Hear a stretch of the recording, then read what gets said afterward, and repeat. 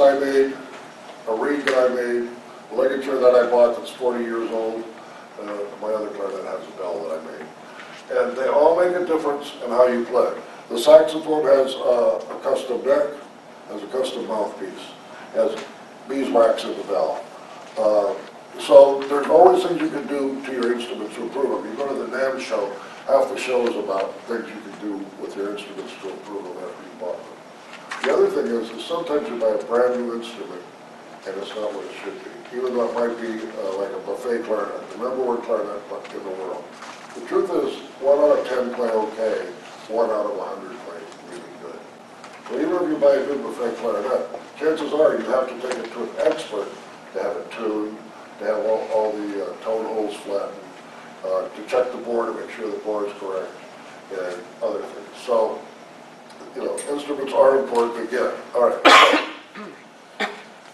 Teacher prep, we already talked about how good you guys are, I really believe that. I mean, I couldn't have made it Leon Guy, who was in fourth grade, you know. And, uh, he, he had a little professional band, he played bass in a, like a combo, and he'd always come and tell us about his jobs and stuff, that us all fired up, you know, so. uh, Okay, it is important to know what your students are feeling like, because so much of what we do is about feel. And and people that sound the same tend to play the same. Uh, I always used to like to say on saxophone, like, if I would watch a classical saxophone player, they were always sitting like this. If I watched a jazz player, they were always sitting like this. And that's why they sounded different, because the tension in their body was different. So the tension in, in everybody's body has to match if your band has to, is gonna match. Now, I, I don't know how much it takes to play a double C on trumpet, but it takes a lot. You gotta be a muscle man, I tell you that. You know, and I don't know what it takes to play middle C on the trumpet. But if everybody's playing a middle C, they need to be working the same, same amount. Okay, so. Uh, You know if your student's instrument is even functioning. Uh, That's something I urge you to do, is have them play it. And if it's not playing, take a look at it, see if there's anything you can find, and if there's nothing you can find immediately, send them to the, uh, the uh, repair person. With, with woodwind instruments, a lot of time, it's simply the reed. And let's just talk about the reed for a second. Usually when you buy, you rent or buy a clarinet. Uh, On my website, avclarinets.com, I have a video about whether you should buy or whether you should rent. My view is you should buy because by the time you run it for a year, you've paid for the, buying the instrument anyway. okay, And then you have something, especially if it's a good instrument. Um, The reed, uh, everybody, the- you don't know what mouthpiece you're gonna get. You never know what mouthpiece you're gonna get. If you're a trumpet player and you have a woodwind player, you don't know what that mouthpiece does. The more open the mouthpiece, the softer reed it requires. More closed the mouthpiece, the harder reed it requires. So you don't know what the kid's got, whether the mouthpiece is open. And what I'm talking about is right at the tip. How open is that? Now, I know that that's, that's uh, 42 thousandths of an inch open, because I made it. Forty- 43 to 47 thousandths is kind of the range that any professional musician will play from a classical player to a, a jazz player. And I've seen student mouthpieces that are open to 90, unplayable, okay? So you don't know what they're gonna get. So I don't know to tell you how to do that unless you have somebody that can come coach your class, like a woodwind coach, like every four weeks, the woodwind coach comes in. And maybe they go around to all your schools and do it. I think that's the greatest thing you can do, or a trumpet coach, or somebody that that knows the things you don't know, the idiosyncrasies of the instrument, okay?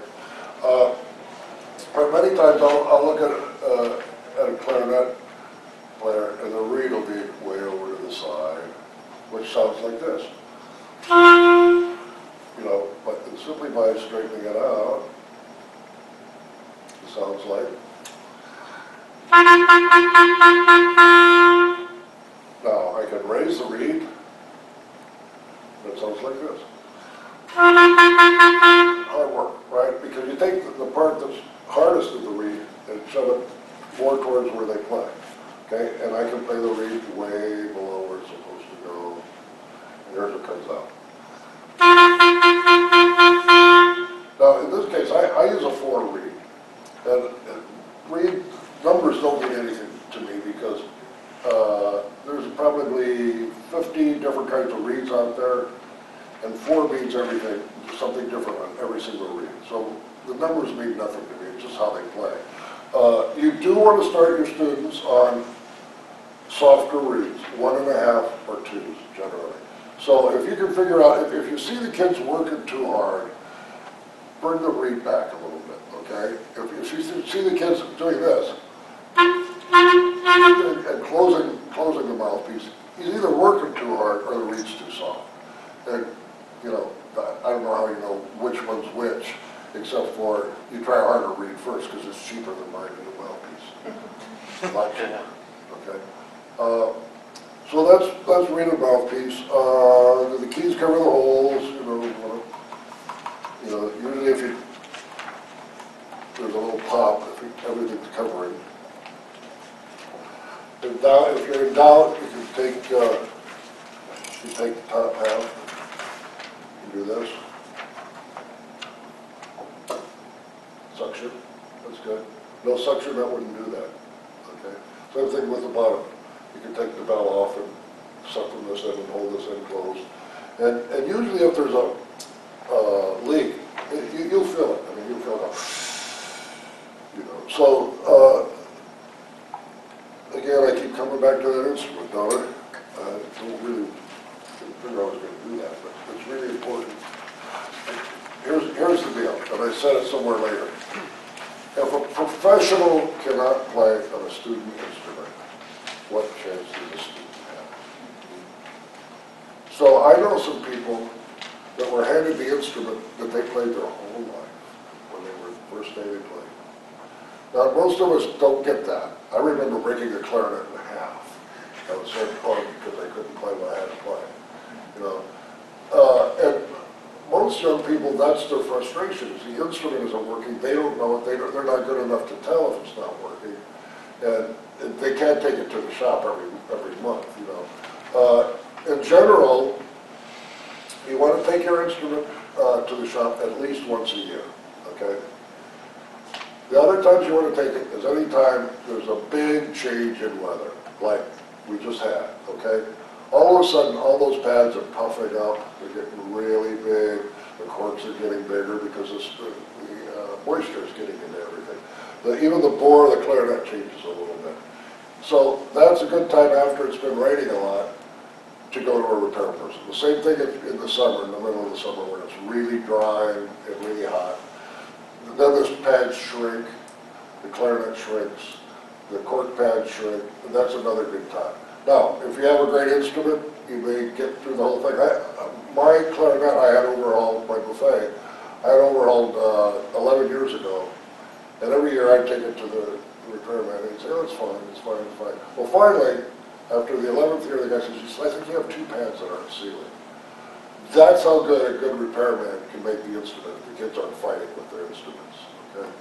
So, uh, that's the other thing, you- need to know a good repair person, it may or may not be the person in your district. Okay, my, my, uh, my idea is that the instrument, the, uh, the student starting with, it should be a new instrument, because you just don't know the quality of the instrument. If you go to a music store where the person's a woodwind player, you're probably gonna get a horn that plays, because they care. But you probably wouldn't get a trumpet from them that plays, because they don't know. Unless they have a trumpet player that's a, a repair person there, and they care. That's, they have to care, because they're, they're really, they're retailers. You know, they're in it to make money, they're not in it to make your kid be the best player in the world. It'd be nice if they were, but, you know, I mean, they're, not against that, but, you know, they'd rather make the rental for a year or two and, get through that. Okay, uh, holding the instrument, we talked about that, accurate with all your instruments. The other thing is, it's important to know where to hold the instruments. Where do you hold the clarinet? I hold it two places, in my mouth and with my thumb. That's where I hold it. Sometimes I'll have kids hold it here, because what I find is, to hold it up like this, they start using their finger under these keys. And what happens is you roll over and then you start squeaking as you're rolling over on this key. So that's an optional third point, that when you can break them of it, you break it, break them of it. Now, where do you hold a flute? Ah, now flute's a very, very different instrument than most woodwind instruments. Because it's got nothing, can't go, you can't force it to work. It's this little thing that's hanging out in the air, and you have to bring it to your body, and have this gorgeous tone, like a sixteen-year-old girl who's been studying for So where are you gonna hold the instrument?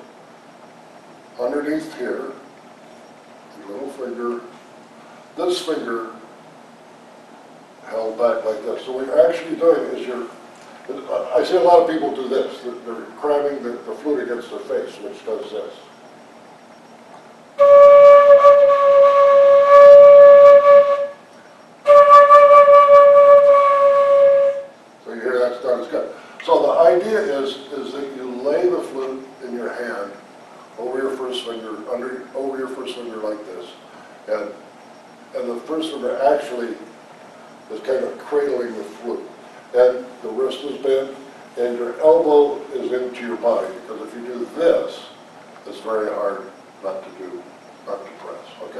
I tend to press a little bit, but my teacher never liked it. So, little finger, thumb, first finger, and the bottom of your lip.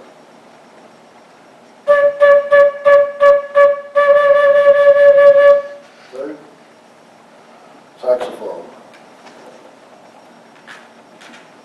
Very simple saxophone.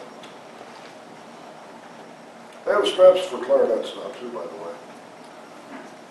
That's where I hold my saxophone. Now I balance it with my thumb and I put it in my mouth. But again, the saxophone is actually held there. That's what keeps it from falling on the ground. So that's all I need, and then just to lift this up and put it in my mouth.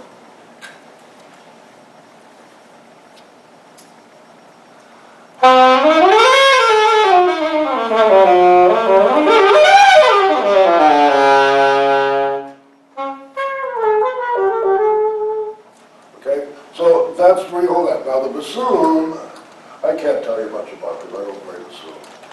All I can tell you is that there's a whole lot of, a lot of finger, a whole lot of keys for one finger on that side, a whole lot of keys for one finger on that side. And man, I want to stay away with, from that any way I can. I, I can't tell you, Question.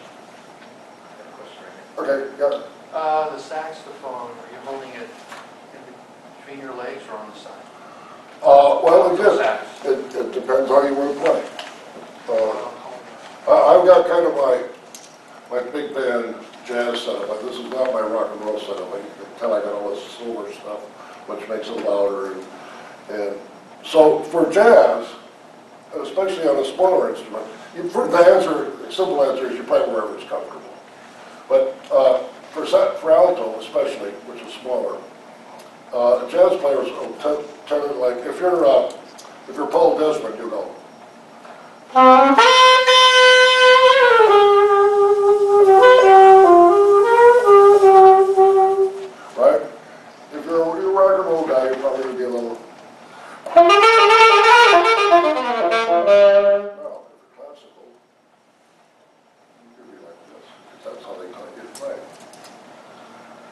All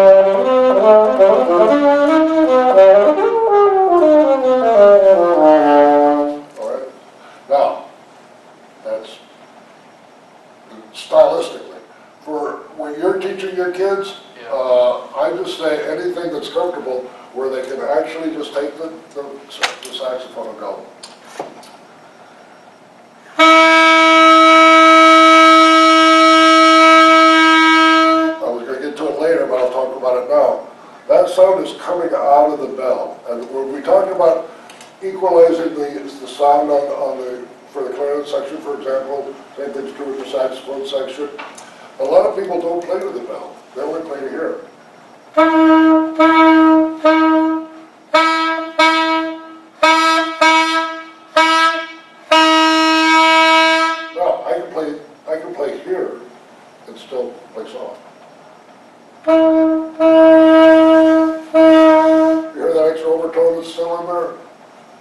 There because I'm getting air through the instrument, no matter how loud I play.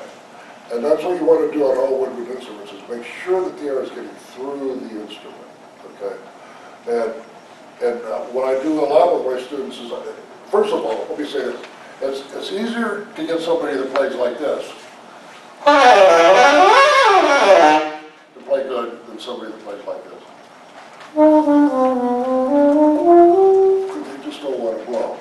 Easy to, it's easy to, to take something and just refine it. But it's hard to get somebody to let go. And you really use their air, okay? So you always want to be encouraging the people that, that are playing quite loud enough. Come on, you, you got more, take a bigger breath. Uh, uh, what I do is I put my hand underneath the, the clarinet player's, uh, bell. I say, blow up my hand. And when they finally get it, an extra, an extra uh, overtone pops out. They go, oh. Okay, now do it and play soft. And it's more work for them, but occasionally they'll get the over, overtone. That's when they know how to blow. When you can play soft and still get that extra overtone that's in the instrument, you got it. That's the secret of blowing. Takes a long time, took a long time for me, you know, and, uh, I mean, I don't know if I, I, I knew that until I've been a professional for twenty years. I mean, that- That's how hard it is, because I was never taught that. Now, I've got students that were taught that. I've got an eighty-year-old student that I taught that to that, uh, that learned it in about a year. And he hadn't played in like fifty years, he'd been, been in the army band, and, uh, he was just amazed, he sounded like a clarinet player again, you know? And, uh, and, and he even went to the, the community band that night, that's another thing for you guys, that are learning a new instrument, join a community band. Fun, and you get to play instrument, or your old instrument that you're not playing enough. Great stuff. Anyway, he went to the community band, and somebody heard him warming up, the instructor heard him warming up, he said, well, you sound good, you move up to second. And he's been at second ever since, you know. And now, now he, now if I could talk him into that he's good enough for first, he could play first, he's good enough. He just doesn't believe it, you know. And That's another thing, how, how we think about ourselves, you know. That's, uh, psychology of music is unbelievable. Uh, Tony Bennett says it takes 30 years to learn how to walk on stage. And whenever I've done solo work, I don't have 30 years of work, of experience doing it. You know, I mean, I might do it every year, but I don't have 30 years of doing it every week, you know, like he does. And it's, you know, you gotta talk to yourself, you know. When you're younger, it's easier because you don't care, you're not supposed to be better. My age, you're supposed to be good, you know. Uh, Okay, what is the instrument? Uh, we talked about this other. Okay. We're always looking for quiet and loose gaps. That's everything. You can do this, or you can do that. That doesn't work. You you can't play piano like that, you can't play saxophone like that. And what you see a lot of times is kids pressing so hard that it caves in this second joint, this first joint. Okay, so every time they play, it's down, down, up, up. So that's four movements for one note, instead of two movements for one note. So it's twice as easy to play fast as if you're not double moving on everything. So you want to watch for that too, that their hands are round. Well, not only that they're round, but they're not actually bending at the joint. And you can, you can just see it real easy because their joint turns, their, fingers turn white. Mm.